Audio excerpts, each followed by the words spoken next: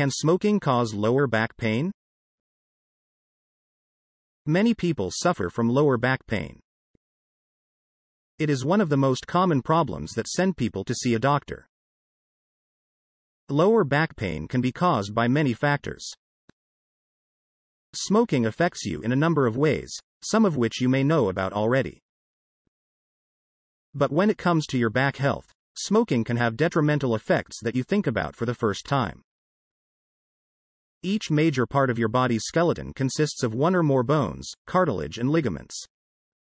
Your spine is made up of bones called vertebrae, which are cushioned with cartilage. The human spine consists of a series of vertebrae. Each vertebra is made up of three parts the body, the spinous process, and the vertebral arch. The body is the bony portion of your vertebrae. The two halves of your vertebral arch are joined posteriorly to form the spinous process.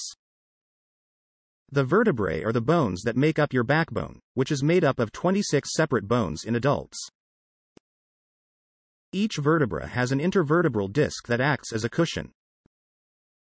The vertebrae sit in your spinal column, a structure that connects your skull to your pelvis. Spinal cord is a long, neuron tube that runs from the brainstem to the upper part of your back and down through the center of the body. Smoking can also cause lower back pain by reducing blood flow to the soft tissue of your body and these reduce the ability to heal. The nicotine in cigarettes can also reduce bone density, which isn't good for your spine. Smoking is one of the least healthy activities you can do for your body.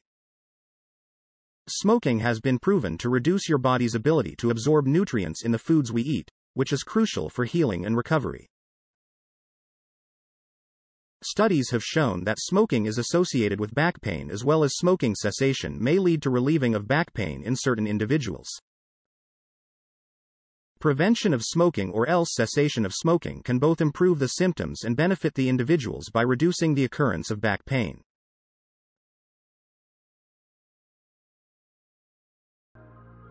Thank you for watching. Visit www.scienceaplus.com for more science related content.